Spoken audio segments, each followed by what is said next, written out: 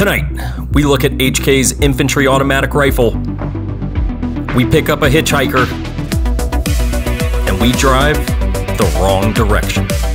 It's all happening now on the 1911 Syndicate.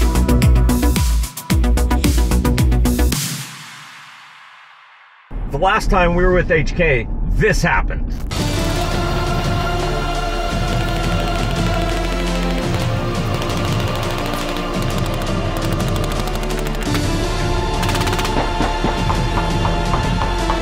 And now we're back and we're heading to HK's Gray Room to check out some of their most iconic guns. So stick around, Bubba. En route. Get them chicken biscuits. I haven't had a chicken biscuit since uh, Chick fil A back in Salt Lake City. Reigning world champions. Stupid. Are they really the champions if there's no competition? Oh, you guys are dumb. They're not open on Sundays, you bitch. Is that what they call themselves? Like Jangles Life? The Jangles. The jingles. You just can't seem to get away from the homeless. The hitchhiker? Who is that? Pull, pull up next to him. Are you kidding me? What the hell? Well, hey there, boys. What are you doing here? Hey, I heard you guys were heading to the gray room. I thought I might convince you to stay a while here in North Carolina. What?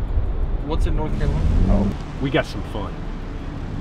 In the early 2000s, the United States Marine Corps was beginning to discover some of the downsides of the light machine gun. And HK being HK said, why don't you let us take a crack at solving some of your mission related needs? Some might even say an impossible mission.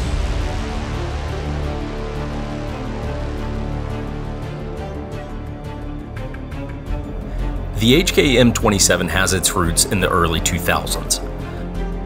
For decades, the Marine Corps relied heavily on the M249 SAW.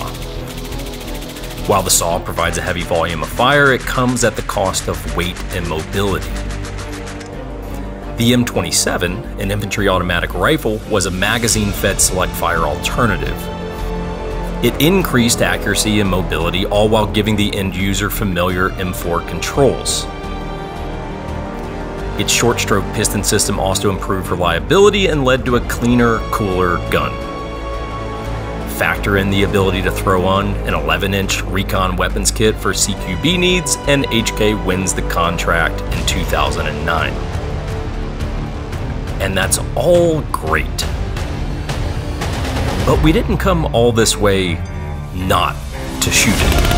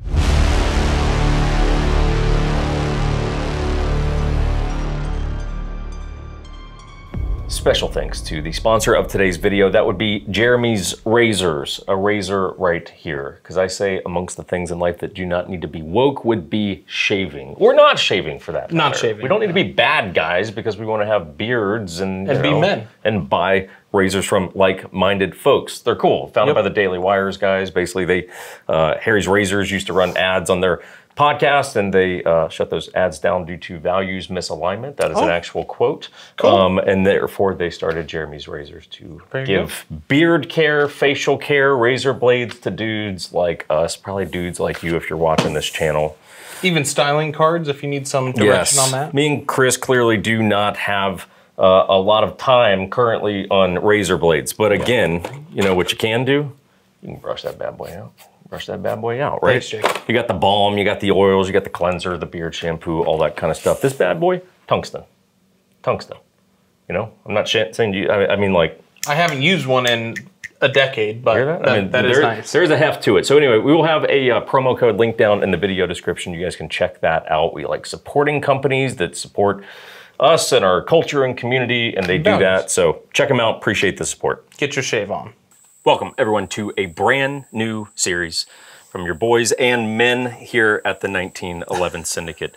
Um, over the next couple months, we've got half a dozen different uh, videos on some pretty special HK firearms. Today, talking about the M27. We'll introduce our guests in just a moment. But we will be talking about the M27. Um, that is a Marine Corps contract gun that some of you are aware of, some of you probably not. So we'll talk a little bit about sort of the fielding process of the M27, why the Marine Corps was interested in it, and we will go through all of the kit and all that cool guy stuff. Along the way, we'll shoot some demos, we'll compete a little bit, and we'll see how it shakes out. Okay, everyone, before we start talking guns, uh, let's introduce some men that are with us on set today. One of the cool things is, without telling you all the different guns, we are gonna have various subject matter experts that will be joining us for the videos and talking about the guns upon which they are an expert. You have seen this handsome man before on the channel last year. And James, before I have you introduce yourself, don't think that me and Chris are not insulted by the fact that you decided to grow stubble before you showed up out here. He said he shaved this morning, and that's already what it's at. Right. Just have to keep you guys on your toes all the time. Seriously. Yeah, sometimes we feel handsome, then you show up and it's just like, well, what a piece of shit we are. My mom tells me I'm handsome. So, uh, James, why don't you give your uh, sort of intro yourself? The audience probably largely knows you, but for those who don't, Yeah, uh, super excited to be back now for our second year of H and K focused videos, and and to be able to be brought on board uh, for H and K once again to be the tour guide, I might say, uh, for this series. You guys know me; these guys are great friends. They didn't have to twist my arm too much to come back. Uh, my background, uh, Marine Corps officer, uh, and then on to uh, to doing my own um, company stuff within the firearms industry, and then getting to support H and K at every opportunity. To, well, at least that say your me for. company. My God. Well, yeah. I, so I, I, I run a So humble. a training and uh, armor service company focusing on H and K weapons uh, called Teufelshund Tactical. Um, so happy to Just uh, start continue taking a to- guess on how you spell it. Yeah, everyone. don't, You'll- you'll don't get even there. try. Horrible marketing decision, but uh, but you know. That's, I take a stab at it? goes. Yeah, go for it. T E U F U L S H U N D. Not even close. Dang. I- You it sounded felt confident. good. You It felt felt confident. good. It It's a lot of letters, though, isn't it? well, yeah. It You, seemed you did, confident. you did better than you do with math. So I'm Oh yeah, impressed. I don't do math in public, so you know. Um, And then this subject rock and roll. matter. So, expert. Robbie, introduce yourself for the folks at home. Hey, uh, yeah, thanks for having me out. Uh, super excited to be here. My name's Robbie Reedsma, and I, uh, I'm the defense director for Heckler & Koch Defense here in the USA. Uh, retired Marine Corps infantry guy, um, 20 years or so, and uh, yeah, super excited to be here. So do you have to salute him when you guys hang out, or how does that work? No. No. No, Oh, okay. o- only if I like. I, I feel out of place here because I, I, I Yeah, barely yeah, have anything going true. on. So, yeah. It's true. No, but this has been a, a real joy for me because uh, Robbie specifically, as we will go through this video, has has really intertwined himself with the M27. So I, I couldn't think about doing a video on the M27 without bringing Robbie, and it's great that H and K brings us on on loan to us here this this uh, this video. series.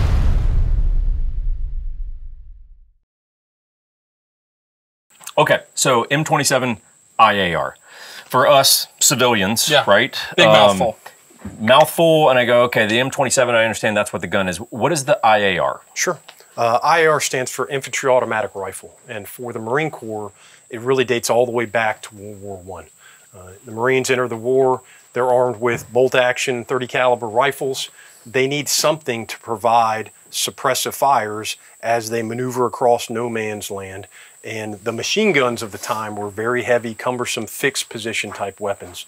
Uh, so they didn't have a solution. There were a couple of stopgap things that were initially presented that weren't really ideal, but at the end, very final days of World War One, we see the introduction of the Browning automatic rifle or BAR, yeah. and that really transforms Marine Corps tactics and even the squad formation uh, going through the interwar years and through World War II.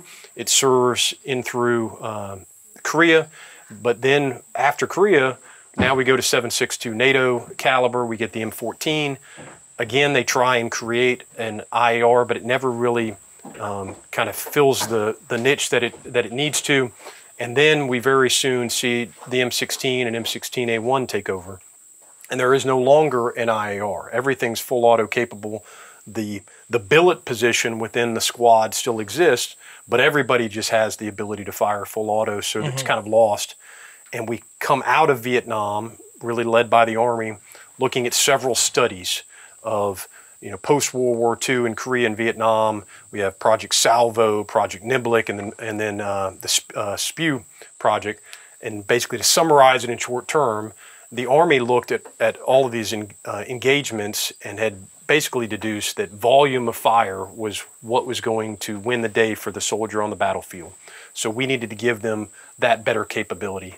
And coming out of Vietnam, the Army starts looking at a light machine gun in that role, not an infantry automatic rifle. Light machine gun is generally a belt fed weapon that fires from a bipod, has an exchangeable barrel, maybe has a tripod as well, is generally a more cumbersome weapon, more for defensive type positions, less apt to Offensive mobile engagement. offensive engagements. Um, and there, you have a trade off of weight um, you know, and capability in those things. And the Army leads a program. They initially um, uh, finish that program and adopt uh, FN's Minimi, which becomes the M249 SAW. For the Marine Corps, at the same time in the beginning of the 80s, they had seen the programs the Army had done, but they didn't buy it. They didn't believe that volume of fire was the solution. They believed that training and leadership was what was really going to lead to success on the battlefield. Um, and so you saw that with the creation of the M16A2 service rifle. Now has a heavier barrel, it's got target type sights, they take away full auto capability, and they believe that is going to make more precision fires and, and lead to that. And they didn't want a light machine gun, but since the Army had adopted one, it was in the system, and there was no infantry hmm. automatic rifle hmm. equivalent, they took it on. And that really, for Marines like us, starting in that early 80s period all the way through the M27's adoption, really became this, this fighting point between Marines within the infantry on should we have a light machine gun or should we have an infantry automatic rifle? Um, and we can see there's strengths and weaknesses for, for both, but we'll kind of break it down to explain the why um, the M27 became the real solution for the Marine Corps. Uh, really, once global war on terror kind of forced us in that direction. So what? Yeah, because when I think light machine gun and IAR, and we don't have a, a saw out here, but a, you know, shot saws, and obviously the M27. To me, they seem to fill different roles Yeah. yeah. to a, to a large degree. So Marine Corps is looking for what exactly during this era?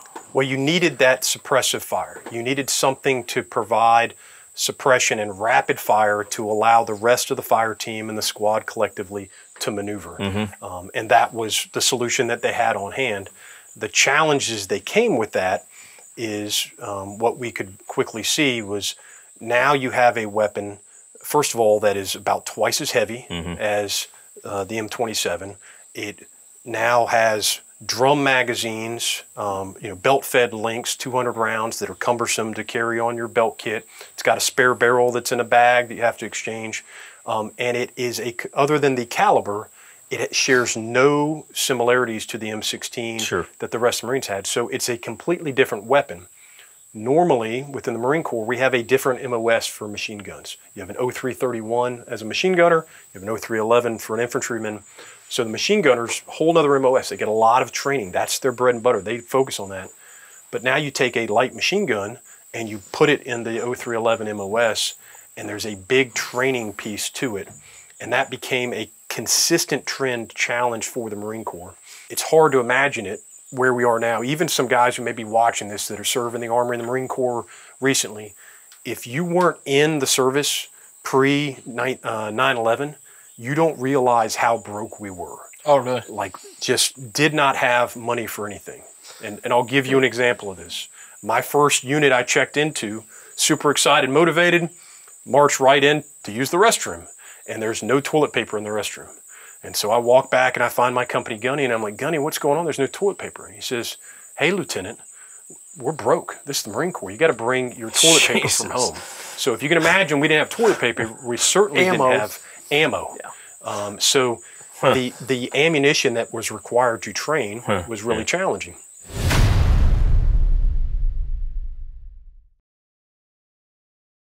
Okay, so as we've mentioned, the real advantage of the M27 as an infantry automatic rifle versus the M249 SAW as a light machine gun is its ability not just to deliver a volume of fire, but accurate volume of fire.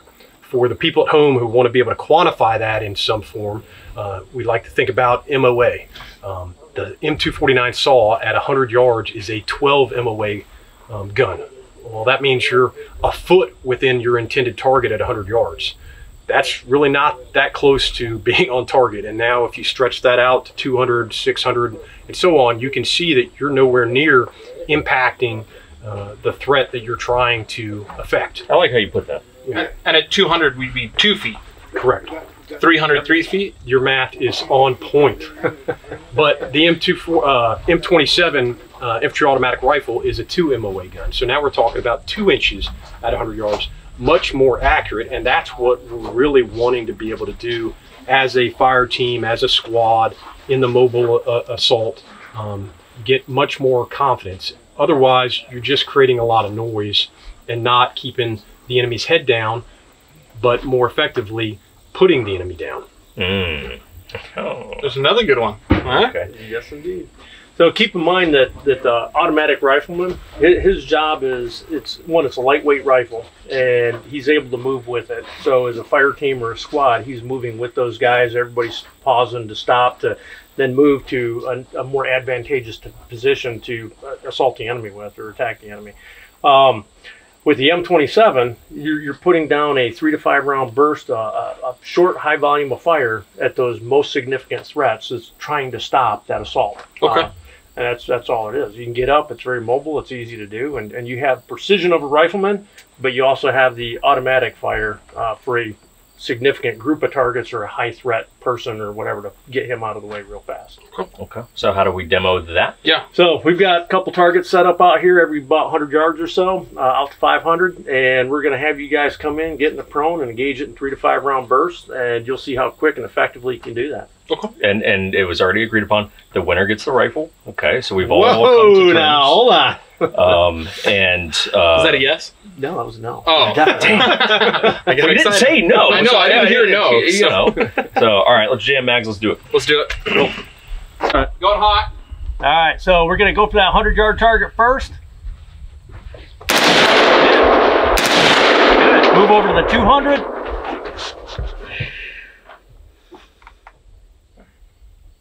Good. Another hit. Good. Hit. Move over to the 300.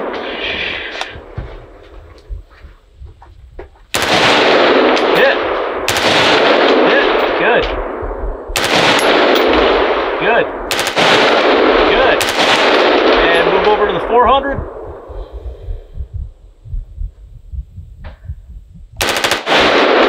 Good. Awesome. All good hits. Very, very efficient, very fast. Any sense of my hit count? I counted five. It's actually pretty good. Okay. It started. You can see it start opening up at about 400 or so. Oh yeah, 400. I was like, Yeah. I'm just gonna. But but you're still all right at that target though. Yeah. And you were just off to the right. His head's down for sure.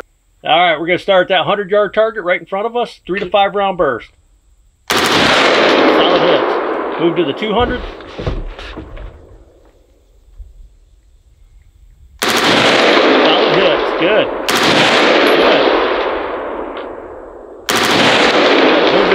300, three to five round burst. Good.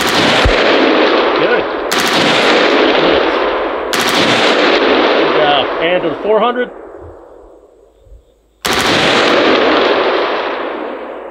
There you go.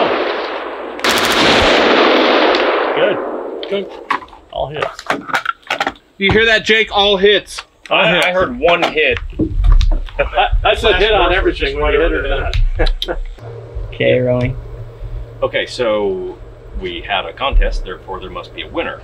I feel very good about my performance. You feel very good about your oh. performance. You think you won like always? I said I feel. Yes, I do. Okay. Yes, I do. I think the numbers don't lie. So who won, James? Robbie? That'd be Robbie's question. He was behind the Robbie. From, from behind, looking at what everybody did, both of you shot phenomenal with it. I mean, it was they were spot on. Thank but, you. But the tighter group, the more amount of hits. I'd have to say that's yours, bro. Come to daddy. That's just because he's standing closer to you. Is that it? It's literally the path of least resistance. Yeah, well, standing true. there. Yeah. I still won, so thanks. Yeah, well, the Germans are going to come find you, and they're going to. Well, remember, I'm 98% German, so they actually probably would prefer that I win this instead of Germany, uh, send me an email. I'll give you his home address. you go get him. Okay, so what we're going to do now is we're going to take the M27, and as part of that movement, um, and we won't go very far, but we're going to have a thread out there, steel target, probably about 100 or so, 150 meters out, uh, and you're going to move forward. We're going to hear the command, threat, contact, whatever. You're going to engage that target with a three to five round burst as the automatic rifleman, and you're going to rush forward, do a little zig or zag in there, uh, drop down into a kneeling, engage that target with another two or three three to five round bursts, and then move forward again and then drop down into the prone and same thing there. Okay. A couple of three to five round bursts. That's how that guy's going to operate to take care of those threats that are out there. And this is that mobility piece where instead of having a, a bigger, larger, heavier belt fed gun, uh, you're trying to maneuver with and get up and get in position. You'll see how much faster this is. Okay, cool. So we're moving along. All of a sudden, contact. Okay.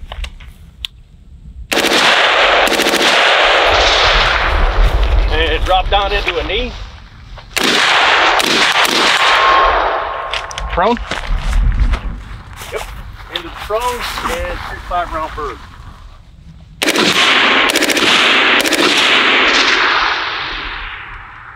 Good job. Good to go. Easy. Easy movement. Too easy. Think I got like 10 hits. Good luck. 15? My man. See? Yeah, we got the we got the, the counter up there going on. Dude, you didn't have your ears in? Oh, Oh, they, they were in earlier. no. As soon as that, I was like, "You get ready to take it." First, I was like, "Oh shit, here we go."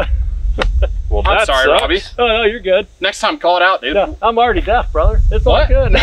all right, so we're gonna move forward. Is in contact, and then we're just gonna do it right from the standing. Engage that threat. Right. Too easy. Threat. Drop down into a knee. And into the prone.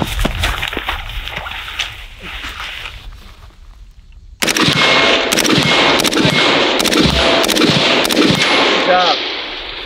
Oh my god, did you hear the amount of steel? It's like fucking like choir bells out there going off. Shit. Also, how's this view? I, I, I think this one is going to Jake. I, I, Jake's got it. I got the gun now. The gun's mine now. That, that gun is going back. Cool. Let's just recap the ass whooping. That, um, Oh, jeez. Yeah, so It never ends. let, let's get your feedback. I know that was a very short course. We didn't go very far, but what was your you know take on how comfortable you felt with the M27? it's so this is going to sound like a dig, but you're going to get where I'm going with it. It it's like running with a heavy AR mm-hmm. versus something that's A saw. Yeah. You know what I'm saying? Mm-hmm. Sure. Yeah. It's like yeah, it's a beefy AR, mm. sure. Yeah. But Far more very maneuverable. mobile. Yeah, Yeah. very mobile. It's like running with a gun that I'm familiar with running Yeah. with. You didn't feel hindered, is what I'm saying. No, no. Yeah, okay, so now imagine that that weapon is twice as heavy, and you've got drum belt-fed um, cases here on your belt kit, and you got a spare barrel on your back, and you got a fire team 20 yards ahead of you yelling, "Hurry the hell up! We got to continue to get in the attack." How do you think you would feel at that point? I'm glad people of his size exist for that. Which an 0321 guy usually is my size, right? Yeah. right? Not a lot, not a lot. No, you know, yeah. it's, But true. I mean, I mean, the argument though is I'd much rather maneuver with that than a saw. Even being built like a man instead of a female, I would m- much prefer that. yeah, he's talking to you on, on that, James. Um, You Yeah. throw in the fact that easy mag change, easy to clear stoppage if you get one, and you can keep in that fight. Takes you a second and a half, couple seconds, and you're right back in the fight. Where if you have a, a, a belt-fed machine gun, you're talking 13, 15 Yep. seconds, and that's in daytime. That's Yeah. not including nighttime. right, right, Yeah. right. Yeah. Yeah, so the manual arms is already going to shave a ton of time, anyways, because you're just standard AR, Yep. right? Yeah. Absolutely. Very cool. Love it. So So, do, do I still get to take it home? So you, you had it on the last one, but this time, got to go over to Jake. Come to Papa. Come to Papa. All right, I'll see you dudes tomorrow.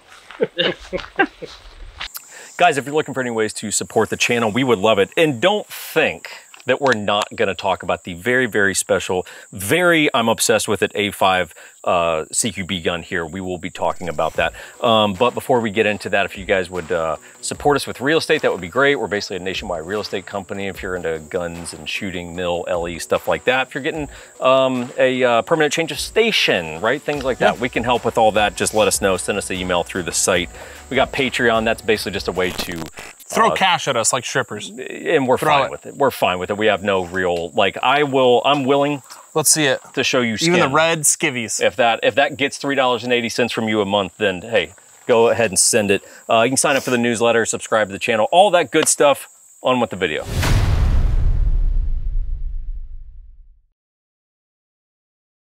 Okay, so um, next stage of the conversation. So, how does this come into, uh, you, you know, being fielded and you know getting the contract and uh, all that kind of stuff?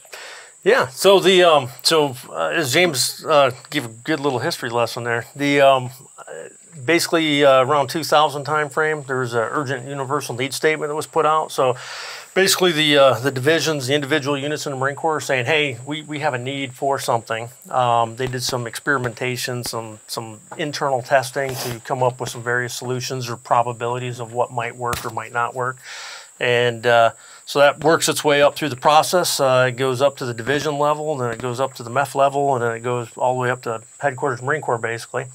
Um, it gets analyzed every which way from Sunday. They look through this thing and they say, okay, let's see what we got. Um, they'll, it's basically a kind of a triangle. So you got um, systems command, which actually does the buy-in. You got requirements that comes out with the actual requirements and the performance specifications and everything. And you got a testing agency. so all those three kind of work in conjunction, and it, it's it, you know it's kind of set up like a each one owns a piece, and it's all a significant piece, um, and they all have a mutual buy-in to that, so to speak. So it goes up through the process, and, and basically once that need is validated, the the specifications or the requirements to the system are figured out.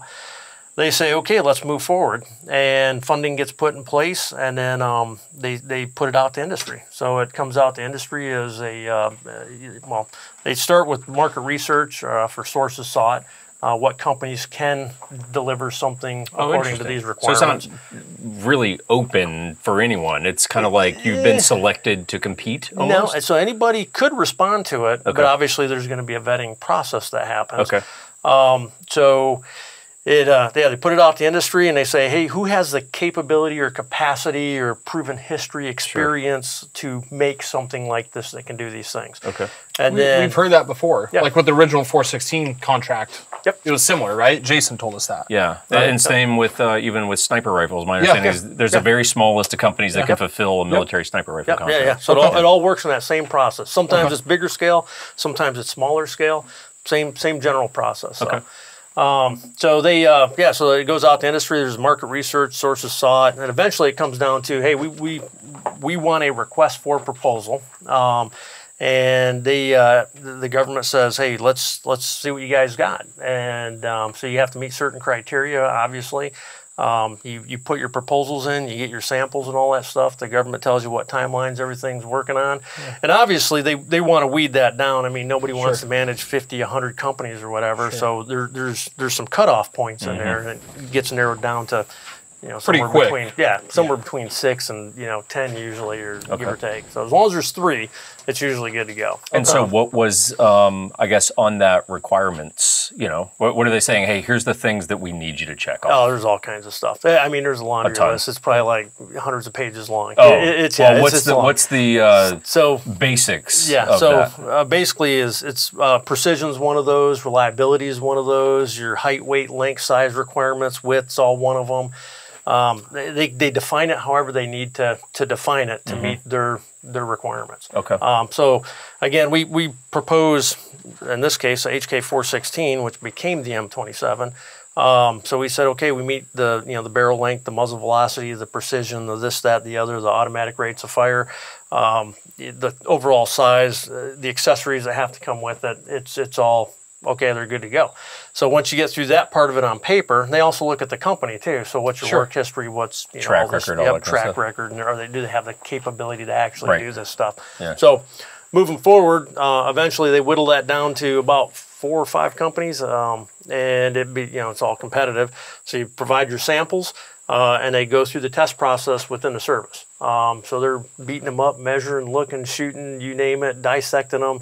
Uh, every which way from Sunday. Uh, again, they're doing the taxpayers their due justice to make sure that they're buying something that's going to hold Yeah. up and be worthwhile with all that money. So, Yeah. yep. Okay, so let's just say for you know, again, total civilian. Chris knows a lot more about military stuff than I do. I'm, I'm like uh, uber civilian. So, what is okay? So the, obviously the M27 or 416, whatever it was called at that point, gets submitted.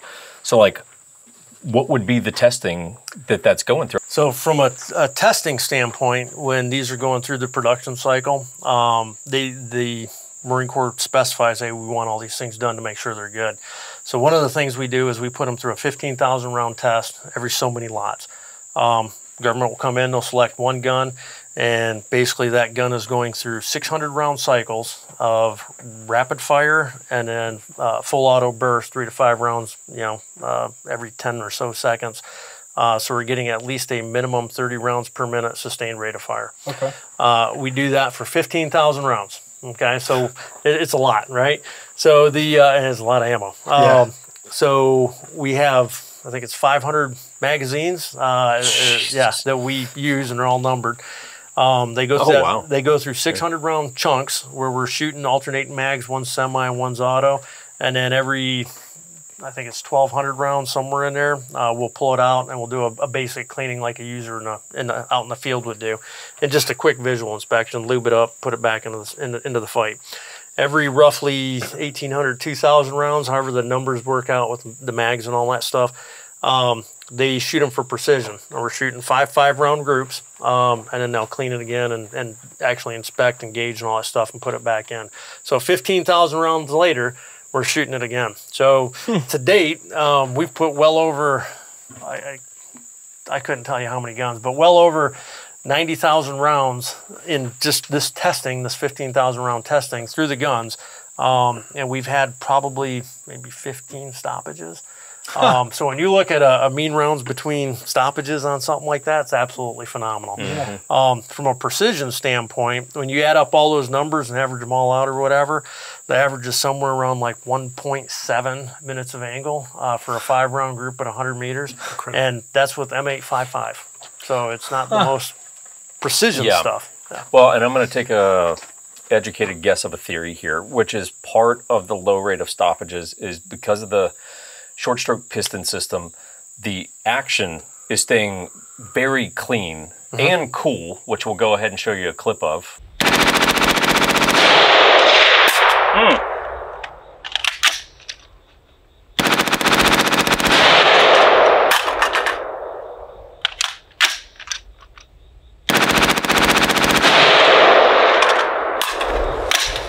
Okay, so how much fun was that? I mean, full auto is always fun. Yeah, right. Pretty awesome. Okay, so you sent the bolt hole forward. Go ahead and hit that rear takedown pin. And pull that bolt group out. Put it in your hand. Hand it over to Jake.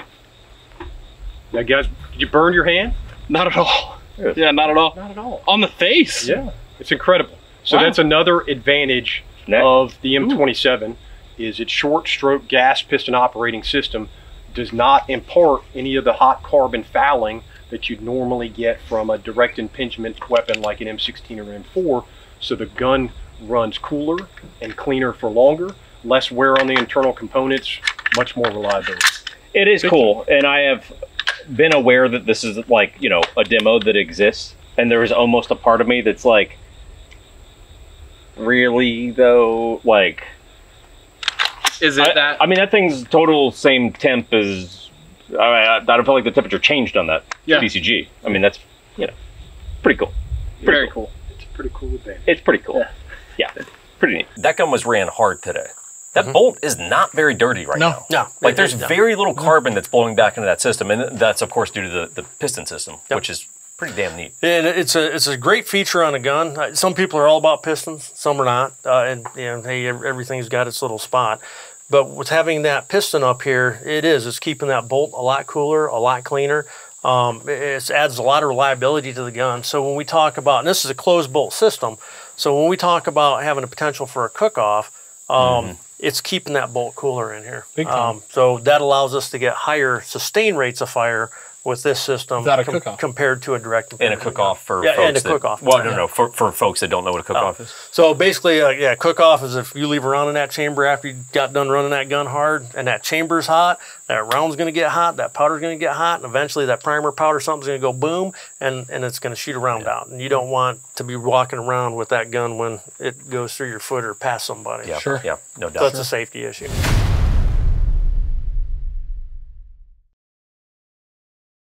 So my my uh, research notes could could be off, but um, it from as best I could tell, it seems like the request came out around 05. HK wins the contract around 09.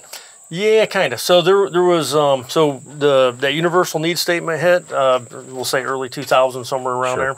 there. Um, and again, they analyze it and look at it. Uh, around 2005 six time frame, they uh, I think it was Office of Naval Research maybe said, hey, w- you know, let's see what industry has and we can pr- provide prize money, so to speak, uh, for any neat designs or whatever. HK I think offered uh, the G36 maybe at that time. This is all before I was there, and it didn't get none. It wasn't innovative enough. It was already in existence. It was already there. Um, around 2007 8 is when the actual request for proposal came Right. out for the, Okay. the whole competitive down select. So uh, I think we HK won it in 2009 timeframe, somewhere Yeah. in there. Um, so it was yeah. There's a, a bunch of pieces where the government's looking at stuff in between that and the actual award. Okay. And so it, it uh, gets the contract, and so I guess the, the the question becomes: so what is the for lack of a better way to put it, like what is the adoption level of this? Like how prominent is the M27 in the Marine Corps? Oh, it's well. So let me let me back up a little bit. Sure. So um, so basically, we go through that down select process, and and again, they're testing everything from from vibration, shock, all your mil spec testing, your tops manual stuff, to make sure it can do the heat and the cold. I mean, everything, right? They're they're looking at it with a fine tooth comb. Um, uh, end of the line, we, we won it. Um, there we, got the award, and then there's a lot of meetings that take place to basically figure out the configuration. So once they test it, you're not Sure. changing anything. Uh, you figure out the configuration, they agree to it, and they go through kind of a logistical piece on that. They do a factory tour. They're looking to make sure you have the capacity, and they're checking that. All the quality that goes along within production, how we're testing it, how we need to test it to make sure we're meeting minimal acceptable levels for the government. Um, again, taxpayer dollars at work, and, and bottom line is, is some infantryman is going to have one of these, and you know everybody wants that thing to work at its worst possible moment. So there's a lot of effort that goes into it from from making sure it's good, and and then you start into production with it. Um, so we were producing, um, so, uh, so all said and done is uh, our first low rate initial production or low rate initial production, yeah, LRIP, um, that actually happened. We delivered that on November 10th, 2010.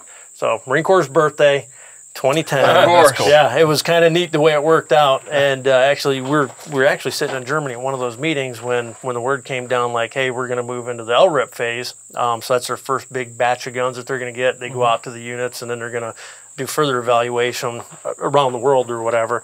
So uh, the the officer looked over at me from the Marine Corps and he goes, "You know what six months from right now is?" And I was like, eh, "Somewhere in November." And he goes, "Yeah, November 10th." I'm like, "You got to be kidding me!" So yeah, sure, sure than anything. No way. Yeah, fir- That's first cool. one, present to the Marine Corps on their birthday. First No way. five, 500 something guns. That's very cool. 500. Um, so yeah, so we delivered that. Those went out to a bunch of different uh, battalions and went through their new equipment training, uh, which is like James had said earlier. You got to set all that stuff up. Um, And then it went from there, and then eventually they're like, okay, this has proven its thing. This weapon system has proven itself out within the user groups, within the operational side of it. Um, and they get to a certain level of parts that are on hand and all that stuff. And they're like, okay, we can move forward again.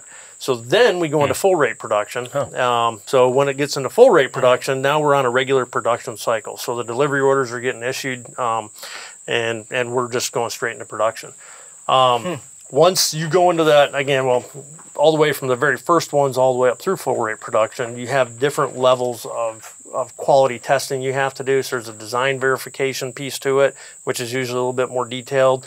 Um, and then it kind of whittles its way down. That's to make sure the government has high enough confidence It's in so how intricate. we're making it. And, So and the intricate. I mean, everything you're is saying, like Oh, yeah. the, the, it's I mean, like the bureaucracy of, of it all Well, is, it's a is Yeah. pretty stunning. Yeah. You know, Did like, we ever get anything? Yeah. right. I mean, you're just like, ah, So one of the initial things that the Marine Corps is looking at, um, again, goes back to the requirement, is the automatic rifleman billet position, whatever you want to call it. One per fire team, and, and that's what where the M249 was located at. And this is, you know, they went forward for an automatic rifle for that guy. So one per fire team, and, and that's kind of the, the role of that gun in that, that position. Um, so the numbers initially were, again, they're not what they ended up being later, um, but they, yeah, they, they fulfilled that that piece of it. and then to my understanding, there is an, an expansion, if you will, that happens somewhere in there. Yes, correct. Yep. So the, um, so when we get into full rate production testing, so it was a, a five year contract. Um, so we, we delivered, uh, I think every one of the single guns that was in the maximum maximum uh, objective that they could actually purchase, maximum acquisition objective, and um, uh, so contract ended. And again, they're using these things. There's a lot of experimentation uh, that the Marine Corps did with that. Um, Marine Corps prides themselves on marksmanship, and rightly so. Uh, and the gun's a really good shooting machine. Um, the uh, so they realized that they could actually take this system and going back to the old Mark 12 SPR uh, systems, um, 556 special purpose rifle, they uh, they could take the existing stuff that they had in the SPR program, and it was never truly a program of record. Um, so they could change out the optic on it. Um, they could add the suppressors that they already had. They could use the old uh, uh, variable powered optics that they had in place already from the older program, and use better precision ammo. And it met all the requirements for the met the previous requirements for that. So you started to see more of a, a DM role start to come about with this system in the Marine Corps. And then they, uh, the uh, Marine Corps said, hey, we're going to call that one the M38. Same exact gun the way we delivered it. Uh, they're just changing out the accessories that are on it and then, the, you know, again, the primary ammo for it. And um, yeah, so it was kind of interesting to us because you had two different gun or one gun that could do two completely roles. opposite roles from an automatic rifle roll to a more of a, a DM type role Sure. uh, with one one base system. Well, and in the next section, we'll wind up talking about almost a third variant, I would argue, of a now shorter variant of this, correct. which is really cool. So you guys should definitely stick around for that because it's not something you see every day. Um, but okay, cool. Yeah, and then the success of, of that expansion leads to the core wide adoption within the infantry and combat arms related MOSs to replace the M16 and M4 with the M27. So now if you go to an infantry squad, it's it's M27 pure across the board. Um, and that, awesome. that was fun for us. You know, when we were there, you get to see the Marines get their first time behind the gun, and after they, you know, give high fives and get so excited about it, if you ask them, "What do you think?" The you know the trend comment was always, "Why don't we all have this?" Um, so it's it's been great to see that original contract expand to uh, to greater potential for the Marine Corps. So I was sitting out with uh, LAR at Camp Pendleton, and they're doing their new equipment training, and and the literally they go through a you know half day class, day class, whatever it is, on all their new equipment. Yeah. Right. So they yeah yeah yeah classroom stuff, and then they get out to the range, and uh, those guys sitting down and shooting those first couple groups when they're zeroing up all their stuff and everything, they get up off the line and just ear to Grinning. ear grins, dude. You just know you made that Marine's day. You know. Well, did It's they just, get like, brand new ones? Yeah, brand new. Dude, yeah, that's yeah, a first for a brand lot of new. those Marines too, right? Lance, Lance Corporal getting up off the line with a brand new H and K gun, and he's shooting groups that are like he's never shot before in his life, and he's like, "Holy smokes, this is incredible! This is like the How best day of my cool. life." It was, it was a really, Especially with your background. yeah, yeah, fulfilling, very rewarding, yeah, to actually see that whole process happen. It was neat. Instead of, you know, a clapped out M4 that has 40,000 rounds through it and it's Yeah, like 24. MOA, Yeah. right? Precisely. so,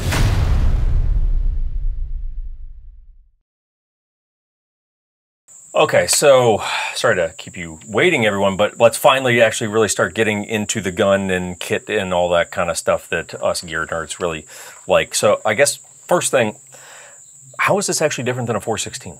Because obviously it's got a different yeah. name and there are tweaks, but it's like it's 416-ish, but not 416. Yep. So uh, again, first test samples were all labeled HK416. So the M- M27 is an HK416. The M2027 name comes from um, 27, 2nd Battalion, 7th Marines that actually came up with the whole concept and tested it through in that initial stuff. So Oh, interesting. it's kind of a inside vote by the Marine Corps, and they said, "Hey, cool. what, what do you think about this?" Absolutely. So that's uh, so that's where it's got its name. But it's in Okay. the the overarching thing is uh, the infantry automatic rifle. Sure. Um, so yeah, that's how you get the name. So, and again, they were 416s. So what you see here on, on this gun on the table right now today, th- this upper receiver is actually one of the original test upper or test okay. guns, or from that test gun that we provided to the Marine Corps way back in 2007, 8, somewhere in Oh, there. really? So when they were being fielded, like you're kind of looking at it. Yeah, I mean, th- like, this is it. Okay. This is literally it. how many rounds do you think are on that upper in particular? I mean, it's A got to lot. be a ton. I mean, it's got to a be a lot. ton. A lot. Yeah. It- And it's mostly many thousand. automatic. Yeah, a lot of automatic Yeah. fire. It's been rebarreled, I would assume, right? So this one, no, um, because uh, the only ones that we have this out in front with the bayonet lug are going to be the M27s and that barrel length with that thing on there. That's So that's wild. the this is OG your- barrel. That's OG barrel and everything. Yep. Dude, and that's you can see it's pretty well. I up. noticed Yeah. the, the Yeah. discoloration Yeah. on there, yeah. It's, it's beat. Yeah. Been That's beat the on. charm. That's the charm. But there are some um, things that are different than a 416. Yes. So for the most part, again, it, it's a, uh short stroke gas piston operated system. So just like the HK 416, it is. Um, it's got a little bit longer, a two inch longer handguard um, on the front. It's accessorized with uh, what met the Marine Corps requirements. So your um, the flip up front and rear sights, and again, Marine Corps qualifies back to 500 yards. So these are more match precision type sights that are on it. So they can do that with iron sights. And these are Knights sights? Yes, they're yep. And they're armament. already in the inventory, correct? Yes, and they're, so the Marine Corps, well, they are. So the Marine Corps said, hey, look, we can use stuff we've already got, and we want to keep our training process the same. So thus, we want these on Cool. the gun. Um, so as as they changed over with them later, um, the uh, well, the initial batches were delivering both sites on it. Um, again, it's one less thing they got to change in their inventory. Later on, um, then when they started doing more stuff, all we had to do was provide the front sight Okay. because they've already got the rear sight. So, yep, uh, uh, M16A2 or an M4 is going to have the A-frame, so therefore they would need that to go on this this setup. Um, it's got uh, the charging handle on the side is going to be a little bit extended. It's ambidextrous and reversible. So, it Oh, was- so it's reversible. Yes. So it's Oh, uh, okay. so for all, all the lefties Right. out there, Yeah, yeah, yeah. easy solution to switch that thing right over. You're just knocking out a couple pins. Armor can do that and switch it right over to the other Easy, side. you know. The um, and that was a updated feature at the time. Now it's it's it's almost a standard thing that you can get anywhere. Bipods uh, already in Marine Corps inventory inventory from their old stuff, but again now they're getting more guns. They want new bipods with them, so that's easy. Uh, the sling and the sling rail adapter right here. Initially, it was a three point sling at the time. Um, and then obviously we all know what we think about three point sling Right. uh, especially for rifles and good shooting, uh, marksmanship principles. So the um, um, Blue Force gear is what we submitted on that, uh, along with the Blue Force gear uh, uh, rail mount fixed loop up front. So it's it's a very secure sling. It allows the Marine Corps to actually continue to do their qualifications out to 500 yard, put a loop sling on there, all the stuff the way they normally did. Yep. Um, so again, good sling and yep, stuck with it. Uh, initially, the magazines were so on our on our very first sample guns. Um, they were HK416, the the high reliability magazines, which work great, but they are a little bit heavier and they're a little bit more expensive. Um, I think the decision was made amongst all the the remaining competitors and the Marine Corps to say, hey, let's basically this gun's going to go out to the fleet, whichever one it ends up winning.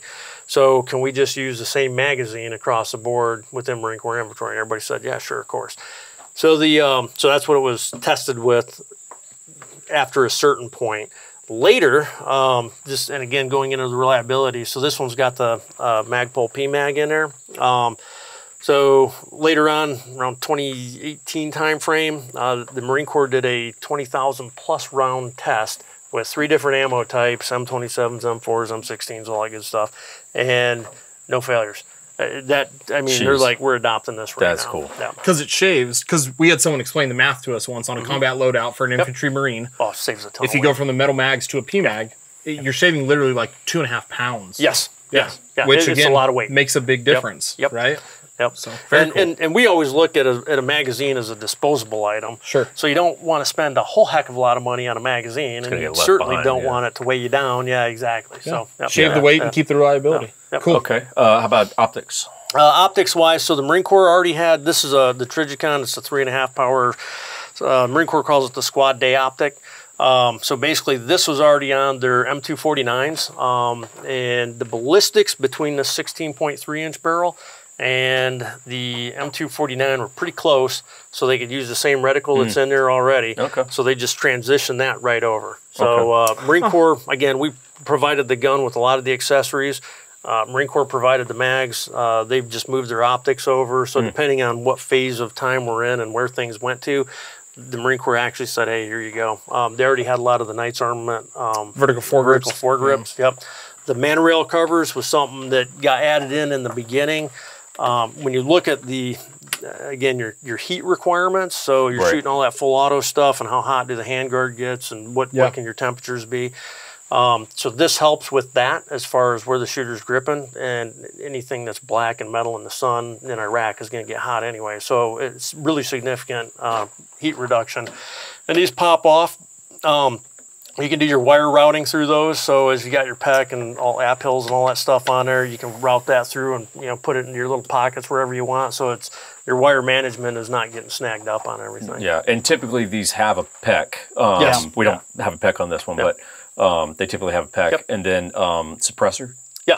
So suppressor was never part of it. Um, uh, it, it- again, going back 2007 nine timeframe, suppressors weren't really in the mix a whole lot as far as big services go. Sure. Uh, later on, though, the Marine Corps was one of the front runners, and they said, "Hey, we're, we we want to suppress everything in the infantry." Yeah. Um, phenomenal move. You talk about increase in survivability, and it's just incredible. So, and with the right suppressor, it's going to improve your marksmanship and all that other good stuff, and give keep that element of surprise in there. Um, so initially, no suppressors. Later on, uh, Marine Corps already had the Knight's Armament um, NT4. uh, NT4 suppressors. I know where you're going with this. Yep. Because So- they already had the muzzle devices in the Marine Corps. Yeah, they already so had they muzzle could just devices. use They already had suppressors. Yeah. And when we talk about M38 with with the the the, the designated marksman rifle of the squad, uh, same gun. They just took those same suppressors they already had and put them right on, on. and said, "Hey, we got a great system here. It works. It's uh, it's an easy route to go, and and it was good enough. And so, yeah, they, they went with it. It's a bomb-proof suppressor for bomb-proof gun. It's right? bomb-proof. I- Yeah. I- the- the- there's a degree of surprise for me just because that's I wouldn't call that a low back pressure can.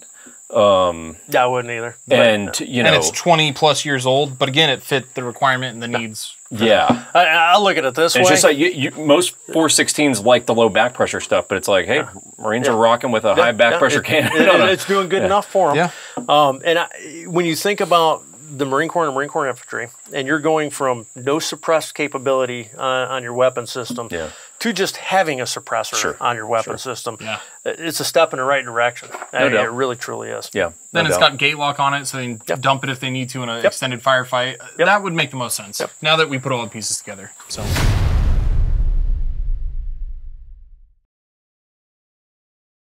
Okay, so super cool guy stuff. I, I I must admit, heading into the video, this was actually the thing that I was probably most excited about, just because I have a, a recent MR556, and I'm like, ooh, I want to see the new. I want to see the new guy. So so break this down, because some people are just like, eh, you know, what is this? Yep. So this, this is a HK 416A5. Um, it's got this one has an 11 inch barrel, and of course you can get multiple barrel lengths. 11 is going to be the shortest. Um, it's got a two stage adjustable gas block on it. Um, you're going to have an all ambidextrous lower receiver. So every one of your controls is ambi, and then you can have the ambi reversible on the charging handle again, just like it's on the M27 that we talked about. Um, or you can you can do these upgrade things here, and you get a dual. Um, the uh, depending on which way you want to go. This one obviously is in RAL 8000, so it's going to be that German Army type uh, FDE color Let it- I have a te- technical question on that. Yeah. Why is it so cool? Because it just just Because it just is. It just is. Just so, is. so when, when you take something and you sprinkle uh, ma- magic black forest fairy dust on it, That's it it. automatically becomes cool. That's what the thing is. I was going to say German magic on it. Yeah, there you go. It's like I just need that gun in my life. And again, at the end of the day, I'm gonna try to steal it. Okay. no, no, no, no. And you're gonna have to figure out. no, no, no. Um, It's a hard no home. from Just got to go home. Back to the office. There's not a lot of these in the U.S. Well, say these are not abundant No, within no, the not country. Um, some of the other cool stuff on this, so adjustable gas block versus, but you know, the built-in iron sight. Like I don't know Recessed. why. I don't know why I think that's so cool, but I do. No, it's it, yeah, it's a, it's a from from a true backup iron sight standpoint. It's really great. people like they put too much effort into backup iron sights in Sure. general, right? Yeah. You know, I'm I'm the same way. Come from that Marine Corps background. I'm like, oh, I want to be able to do everything out to 500 yards with my backup iron sights. Mm-hmm. But then, do I ever use them? Click, no, I don't. You know, the optics really don't fail a whole lot. So this, you see a lot of these in Europe, and it's actually a really good low profile setup. It's very simple. Um, just just updating your stuff. You're going to pull it up, just and rotate that around. Oh, it's going to change your elevation in there, and you got a little windage knob to adjust your windage. And then, as most of us do, once you put your optic on, okay, Slap those are zeroed, and you never look at them again. Um, but they're, it's a nice little setup. Um, and again, you can get the handguard with or without those things. Oh, can you? Um, Because yeah. I was wondering, like, if you had an IR device, I'm like, this is really cool. But if you had a IR emitter, you're like, well, You just get you know, Picatinny, you do have less space. Picatinny all the way out. Okay, Yeah. well, that's cool. That's and cool. as you can see, it's also got the latest grip design, which we were talking about before. So if you're familiar with the P30 or the VP9, now you have the ability to change your back straps and your side straps, and there's a storage compartment in there with a multi-tool that assists for all the work on it. So the Germans have thought of everything, and uh, Different um, trigger guard too. correct. Yes. Yeah, you got more of a winter trigger guard. It, Yeah. It's elongated in there, so you can get a gloved hand in. Your castle nut's going to be longer as a base production one. Just again, you, you put all these accessories on here and drop it. That that- uh, it's just one of the strengthening points to it. Like, hey, we're going to make sure that never breaks on somebody. Um, and then your magazine well, uh, as you can see, is, is going to be more flared like the M4 style. So going back to the HK 416, um, when HK designed that gun, was, we look at a 5.56 magazine, and of course we're going way back in time. Um, but they took the SA80 and what they learned from that program, which has got a longer magazine well also, and they said, hey, when shooters are grabbing that magazine, and again we're going back in time, older magazines, maybe not as well made and all that stuff, um, you get more more stoppages, higher rates of stoppages. They're burying the mag in the dirt and it's wiggling around in there a little bit. Yeah. So that's why we had that, uh, what I would call more elongated magazine well. Um, well, now that modern technology's caught up, you got much better mags, much better ammo, this, that, the other. Shave H- down. HK finally said, okay, let's just shave this down so it works with everything out there. Cool, cool. Um, and then so I guess you know maybe maybe more of a broad strokes question, but like the idea, I, I'm going to make an assumption. You tell me where I'm off or, or, or correct. Is that hey, we take our base M27 lower, and now when we need to go from that IAR kind of a DMR type capacity to I An need, to do, I need to do some CQB shorter range stuff. We take our same lower, and we now have an interchangeable upper. Yes. That's the idea. Yes, that's the idea. So, so basically, we we said, um, uh, so th- again, there's a number of things on that contract uh, for the Marine Corps. Um, so one of the things that we saw in, in recent times, and, and again from from HK, we've always kind of pushed that. Hey, it's a modularity piece, et cetera, et cetera, et cetera. Um, so we we do provide or have provided uh, reconnaissance units with this 11 inch package as part of that M27 contract. And so look, they man. can do just that. It's an arms rooms concept. So if, if you've got if you know they're doing a uh, a maritime raid somewhere and it's a direct hit in and out, uh, doing VBSS or visit board search seizure maritime interdiction operations, um, he he can the the the the Recondo can basically say this is the gun I need for that mission set. I'm in tight confined spaces, freaking good to go. Uh, easy day. Uh, hey, we're going out into the into the woodlands and the you know the wildland and all that good stuff, Mm-hmm. and we'll put our longer one on there. Or you can do a mix and match. Hey, Yeah, throw that in your bag Yeah, and- you're going to be the DM. You're going to be the automatic rifleman, and the other dudes are taking this. So it's a mix and match arms room concept that gives them the capability to do a number of mission sets Hmm. by just simply changing Upper out and uppers and lowers. That's pretty high speed stuff for the Marine Corps, man. Yeah. Oh yeah, yeah absolutely. A5, A5 uppers, and I mean, like, geez, what is going on with there? So, It's about damn time. so same thing, but in black, and Yeah, it's- now it's referred to as the Recon Upper Kit. Yeah. Re- reconnaissance weapons. Kit. I just, you know, why do I have such an unhealthy love for that? Uh, like, I That just- gun right there is pretty cool. that really, really does it for me. Like, really does it for me. And I'll say this. So, so obviously, because we get it, guys, you can't get anything for that matter, hardly, that you're seeing on the video today. So for those of you, we have borderline a reputation of like, thanks for showing us a bunch of unobtainium shit, and we're kind of guilty of it if we're being honest with ourselves. So we get it. We can't. You can't get an M27. You can't get the Recon upper kit. What you can get is, so you can get a um, guns clear everyone. So you you can get an MR556, and frankly, the full length MR556, you can get pretty damn close to that M27 Yes. with a standard MR556. So so with a standard MR five five six, um, you just get the two inch longer handguard. You wouldn't have a bayonet lug on the front. Right. And you get the the bigger stock, uh, the wider stock that Yep. goes on that for better marksmanship shooting. Yep. And basically that is the same size as as your M27 is. Right. I mean it's it's that in a nutshell. Yeah, throw an ACOG and an RMR and Yeah, a you're can, and go. you're like, hey, you, you kind of got a good clone there. Yeah. Or if you wanted to go that direction, so we'll actually be talking about this gun um, in sort of the transformation process of doing an MR556 build because this is meant to be, you know, like a shorty 416 clone. Um, so you could actually, you could get close ish to that, but you're going to wind up in this bastard child territory in terms of like, look, you got some A5 parts and then some non A5 stuff and everything. But you can definitely do kind of a retro MR556, like 10.4 build, um, and they're pretty damn neat. So maybe tune in next week if you guys are into that. Or, or you could join the Marine Corps. Or you could join the Marine Corps. Tell That ya. is another option. Join the Marine Corps. It's good to you. Yep. And and there you go. I'm aged out, so that boat has sailed. But What? Yeah. I thought it was like Sorry. 18. Right.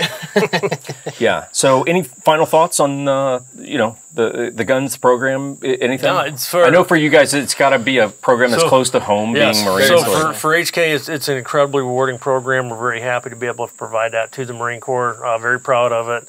Um, they've had a, a phenomenal success rate with, with all their guns that they have and everything that the guys are doing. So it, that has been really good to hear. Um, a- a- again, it's been good to them, and I'm proud to be a part of that, especially given my background. yeah.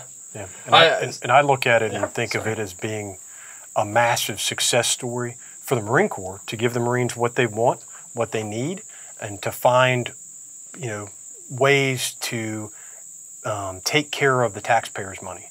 They did this in a way that saved overall money that otherwise would have gone to lengthy, you know, contracting, bidding processes to go out and do all these other things, and they've been able to do more with less, which is what the Marine Corps is all about. Yeah. And so when we get into the uh, logistics of this thing and your life cycle, how long that gun lasts and the parts and all that stuff, there's a life-saving cost. Uh, our taxpayer money when you look at how long those components and parts last as well, or Sure. the barrel lasts. You know, Sure. it's so you're not having to upgrade and redo this thing all the time. Um, like again, going from 2010 to now, uh, and, and yeah, the Marine Corps has saved the taxpayers, us, a lot of money in replacement parts and this, that, and the other, just because of the reliability and the Yeah. durability, longevity of the system. All right. So say you got in a legally justified self-defense scenario. Bad day. You're gonna well, definitely a bad day. But Yes. you're gonna want protection. Protection is important. That protection is firearms legal protection. Okay. You like that? Yeah, you like it's a that? play on words. I got It's him a- on. I got him. words. Right? It's What do, what do they words. offer you if you use their Um, service? so it's like CCW insurance, even though it doesn't have to be limited to CCW. You might go, hey, I'm not a CCW guy, but I would like to protect my home in the event I get burglarized or something like that. Um, so if you're in a legally justified shooting, um, they will cover all of your attorney fees, all that good stuff. They have the crime scene incident. They got the hotline, so when you call, it's an actual attorney that you talk to, not a customer service rep. because that ain't who I need in that moment. Nope. Um, so they have a few different tiers, whether you travel, if you have family, if you're like a bachelor just hitting the scene every night like me, um, they've got that plan. So the code's 1911, saves you guys like a third off the service there. Check it out. They're good dudes. Go give it a look.